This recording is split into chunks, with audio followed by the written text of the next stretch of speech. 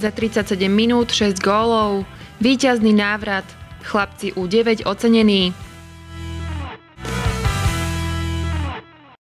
Neuveriteľný priebeh malo stretnutie 10. kola 3. futbalovej ligy. Na Prívickom trávniku hostili domáci baníci susedov Stopolčian. Prvý gól, ktorý sme ešte nezachytili, padol už v 7. minúte z kopačky oškrobaného a druhý nenechal na seba dlho čakať. Najskôr dva razy zachraňoval brankár hostí Bačík, ale po 7 minútach sa mohli diváci tešiť opäť. Po centre Turančíka skončila strela Zelenického opäť v sieti a bolo 2-0. S chuťou hrajúci Baník pokračoval v tlaku a tento raz sa čakalo len 6 minút na tretí gól. Akcia začala rovnako u Turančíka. Jeho prihrávku ešte oškrobaný vylepšil pre kapitána Pekára, ktorý zblízka dorážal na 3-0. Eufóriu z fantastického priebehu zápasu narušil hostujúci tým, keď sa prakticky prvý raz dostal v 29. minúte k brankárovi Lackovi. Tento výlet skončil gólom Jakubíka a znížením náskoku domácich. Baníkom bolo v 35. minúte za prvý gól vo svojej sieti odpustené. Hubočan za centrom smeroval na Viktoriho a ten nezaváhal. Stav sa opäť menil na trojgolový rozdiel 4-1. Futbalový priebeh pokračoval. Obrana Hornej Nitry pustila hostujúcich hráčov opäť za seba a Kutiš znížil na 4-2 v 37. minúte. Do polčasu sa toho už veľa neudialo a do druhej časti sa nastupovalo za stavu 4-2. Prvý polčas sme hrali veľmi dobre, smerom dopredu sme si hrali rýchlo, kombinačne, vytvárali sme šance, dali sme 4 góly. Naopak smerom dozadu to bola z našej strany katastrofa. Super bol 2x16, dal dva góly plus mal nebezpečnú štandardnú situáciu rohový kop. Takže s tým som vôbec není spokojný. Oba týmy už boli opatrnejšie a zväčša končili akcie pred 16 Výnimkou bol oškrobaný v úvode, keď sa dostal až pred brankára hostí, ale ho len trafil. Podobnú šancu mali aj Topolčany. Brankár Lacko pozorne bránil svoju bránku a nedovolil meniť stav stretnutia. Druhý polčas, neporovnateľne chudobnejší na šance, uzavrel z penalty Bublák v poslednej minúte. Penalte predchádzal pád skúseného Matuškoviča v 16 pri ktorom asistoval hráč hostujúcich Topolčian. Druhý polčas sme sa nevedeli tak dostať do hry ako prvý, čo ma mrzí, lebo bol to super, s ktorým sa dalo hrať, s ktorým sme si to mohli ten zápas užiť a nie pustiť ho naspäť do zápasu dvakrát a, a je to zbytočné, lebo fakt chalani hrali Prvý polčas skvelé smerom dopredu, rýchlo, kombinačne, pekné akcie, šance, góly, takže je to škoda, že si, že si to takto pokazíme celý dojem. Ja si myslím, že sme hrali dobre, super sme v podstate do ničoho nepustili, hovorím, bolo to, bolo to z ich strany trošku na náhodu, my sme hrali to, čo sme chceli, hovorím, druhý polčas to nebolo až také kvalitné, ale prvý polčas si myslím, že z nás strany bol výborný. Nováčik opäť predlžil svoju neporaziteľnosť. 18. októbra sa pokúsia baníci pokračovať v dobrých výsledkoch na trávniku Dunajskej stredy. Basketbalové kluby zo Slovenska, Chorvátska a Rakúska sú súpermi prievického BC v Alp Adria Kape. Prievidza sa pred 20 rokmi rozlúčila s medzinárodnými pohármi vynikajúco víťazstvom v Superlige 1996. Prvým súperom v Alpsko-Adriatickom pohári BC bol v sobotu 10. októbra slovenský Zlatorok Laško. Domáci začali zápas lepšie. Zásluhou Stamenkoviťa a Mariťa viedli 4-0. Hostia o chvíľu vyrovnali a nepustili už prievidzu v prvej štvrtine do vedenia. Druhú štvrtinu nezačali hráči BC dobre. Až po 4 minútach dosiahli prvé body, ale postupne sa dostávali do tempa a výsledok na konci polčasu už vyzeral lepšie. Vyhrali ho 31-29. Tretia časť bola vyrovnaná, týmy sa striedali vo vedení. Obrana Slovincov robila prievidzi problémy. Trojka hráča hostík Dadolníka v poslednej sekunde uzavrela bodový stav výborného stretnutia na 54-53 pre hostí po troch častiach hry. O víťazovi rozhodla posledná štvrtina.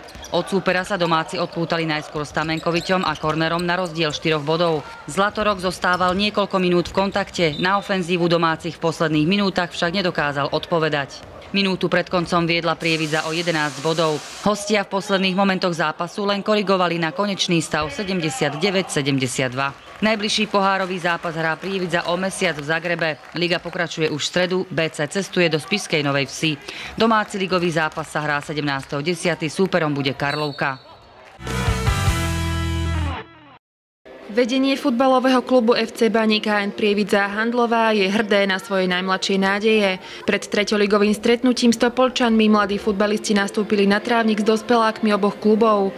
Za úspešnú reprezentáciu klubu a mesta dostali chalani darčeky a na gratuláciu od veľkých kolegov a aj zástupcu primátorky mesta určite nezabudnú. Chlapci kategórie U9 pred mesiacom odohrali medzinárodný turnaj v Českom Šumperku. Turnaja sa zúčastnilo 18 družstiev z Česka, Slovenska a Polska. Týmy boli rozdelené do štyroch skupín. Tú svoju malí baníci jasne vyhrali. V semifinále sa trochu potrápili s Opavou, ale finále z FC Lužice už bolo opäť v režii našich chlapcov. Som útočník. Útočník a dal si aj nejaké góly? 11 golov. Ani spoluhráč nechcel veľa prezradiť. Si brankár, Mhm. takže a dostal si veľa gólov? Koľko Nie. je to? Koľko? Asi tak. No, povedz. Odhadiť. Zo 5 gólov, ale dali sme oveľa viacej však. Mm, áno. Tretí oslovený už môže byť hovorcom týmu. Volám sa Matúš Kurbel, um, hrávam na poste obrancu a dal som um, z penalty gól proti Opave, rozhodujúci gól. Na turnaj spomína aj tréner Tomáš Barta. Kvalita toho, sú- tých superov bola rozdielná. V skupine sme mali ľahších superov, aj ťažších. Uh, hlavne to semifinále bol zápas na úrovni tu no, našej Žiliny, Trenčinu, Slovanu, čo sa stretávame. Takže to bol taký ťaž, najťažší zápas, ktorý sme zvládli a bolo to predčasné finále. Chalani chceli, aby sa nám tu spravili štadión, tak sme ich motivovali tým, že ich vlastne podporia to, keď spravia úspech, tak nám zastupiteľstvo schváli ten štadión. Tak dúfam, že si tu jedného dňa zahrajú aj tú prvú ligu, keď budú poctivo nad sebe pracovať a makať.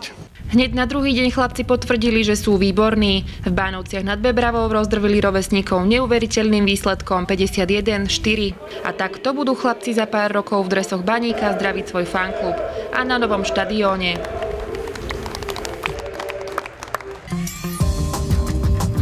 V druhom vystúpení volejbalistov VK Prievidza v súťaži sa podarilo trénerovi Vlkovi zložiť víťaznú zostavu. Prvý set bol ukážkou, ako by to malo vyzerať, druhý jeho opakom. Prievidžania sa však vrátili v nasledujúcich setoch ku svojej hre a potvrdili v starej Ľubovni úlohu favorita. Vo štvrtok 15. oktobra o 18. hodine sa VK prvý raz predstaví domácim fanúšikom. Súperom bude družstvo COP Trenčín. Aj v druhom kole najvyššej vodnopólovej súťaže Nováčania poriadne zaťažili gólové konto súpera. Presne 21 krát vyberal loptu zo svojej brány brankár ŠKP Košice. Tkáčovci deklasovali bronzového medailistu 21-6, keď len v prvej časti hrali s modrými drakmi rovnocennú partiu. Gólovú prestrelku videli diváci v Partizánskom, kde nastúpili hokejisti HC Prievidza na svoj tretí súťažný zápas. Odhodlanie opäť oslabenej Prievidze získať prvé body dlho nevychádzalo.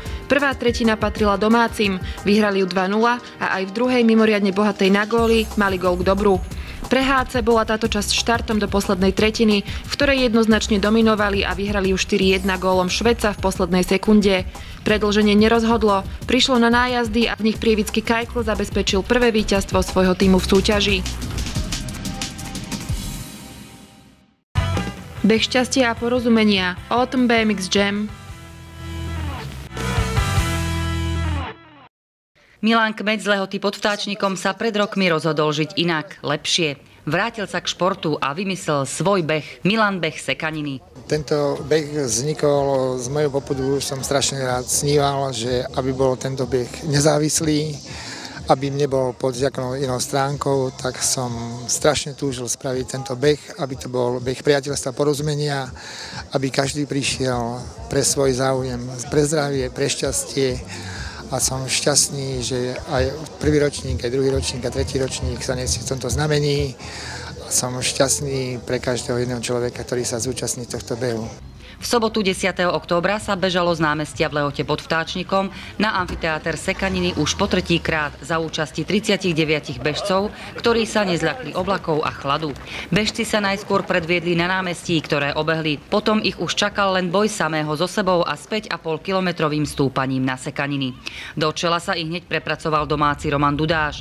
Zdalo sa, že prepádil tempo, ale nebola to celkom pravda, čo sa ukázalo neskôr. Pri výbehu z obce Romana predbehol Peter Lomnický z Martina a neskôr aj Michal Gendiar z Lehoty pod Vtáčnikom. Medzi deviatimi dámami na trase bola najrýchlejšia Nina Šnírcová z Lazian s číslom 28, pred Evou Píšovou z Koša s číslom 32. Skôr spomínaná trojica mužov v nezmenenom poradí dobehla aj do cieľa pod amfiteátrom na Sekaninách. Prvý s polminútovým náskokom Lomnický. Super beh, parádne počasie. Trošku náročné, lebo sa išlo iba do kopca. Druhý Gendiar a tretí Roman Dudáš, ktorý si pripomenul oblečením horúce leto.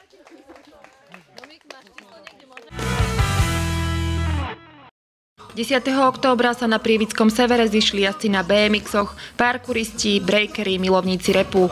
Konal sa už druhý ročník BMX Autumn Jamu.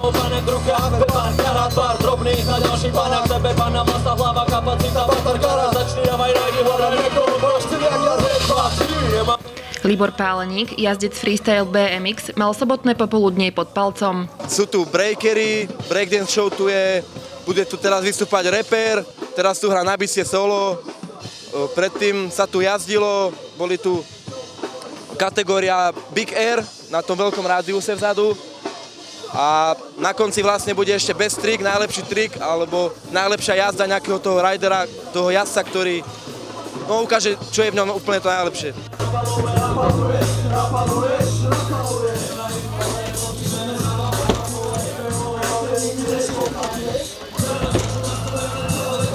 Na sídlisku vyrástol skatepark, ktorý láka mládež všetkých kategórií, od kolobežiek až po BMX-ové špeciály. Mládež park využíva každý deň a podmienky pre jazdcov tí skúsenejší postupne vylepšujú. Tento skatepark sa nachádza za centrum voľného času v Prievizi. Podstate stávam to ja s kamarátom a chalani mi pomáhajú. Vybudovali sme tu nové rampy, vidíte tu veľkú, radius a tak. A dávame to dokopy proste z financí, ktoré nám mesto poskytlo. Teraz sme dostali 1000 eur, postavili novú prekažku a dneska sme ju zároveň aj otvorili. Záujem o akrobatické výkony, ale aj o hudbu, ktorá jesenú akciu sprevádzala, prilákal mnoho mladých ľudí, ale aj postarší sa prišli pozrieť, čo to mladí na bicykloch stvárajú.